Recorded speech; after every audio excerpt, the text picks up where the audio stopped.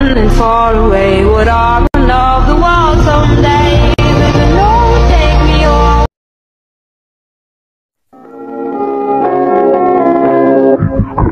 me you.